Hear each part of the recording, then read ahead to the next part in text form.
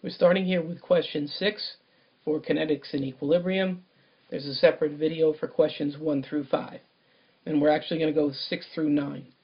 So with question 6, we're looking at which type of equilibrium exists in a sealed flask containing bromine as a liquid and bromine as a gas.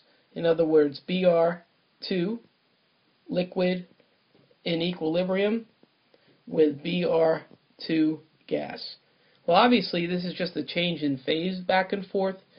It's no solution equilibrium. There's no AQ here. There's no mention of, of any kind of um, water or anything like that. So we can cross out the choices that say solution. And, of course, it's phase. But here's the thing. Static would mean it's kind of standing still. That's not happening.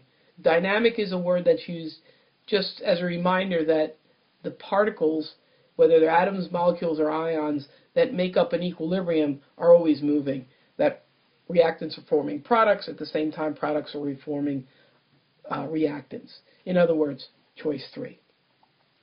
If we look at question 7, we're dealing with a potential energy diagram here, and it's asked which number interval represents the heat of reaction. Well, heat of reaction is your change in what's called enthalpy, and that is given the symbol delta H, and it's the enthalpy of the products minus the enthalpy of the reactants. And on my little diagram here, that the products would always be here, the reactants here. Now these arrows are representing what you would actually look at on the um, y-axis, but look at where what I'm looking for. I'm looking for this line for products and the line for reactants, which it can only be choice 4. Okay, I'm going to move on to the last two questions. Question 8, I'm dealing with a potential energy diagram again, and it's asking which uh, diagram represents a change in potential energy that occurs when a catalyst is added.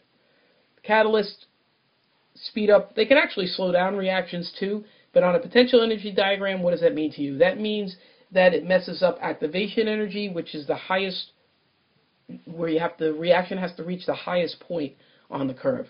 In other words, if you're asked about a catalyst and it relates to a potential energy diagram, real simple. You're looking at the change in the middle. That's choice two here.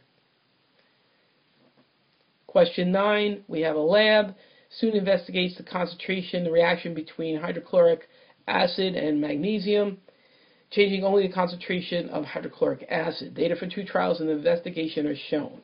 Okay, so it says compared to, uh, to trial one, what is the expected reaction time for trial two and the explanation for that result?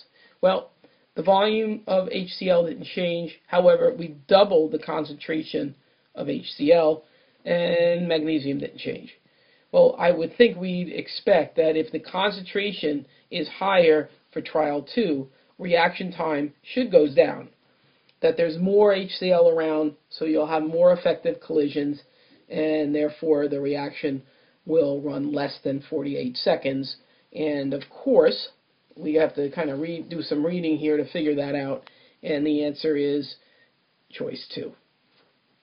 Right, less than 48 seconds because there are more effective particle collisions per second. Keep working hard. Check out more videos. Do as many questions as you can. Keep studying. Don't forget to check out my videos on the notes that go with each section, those topics.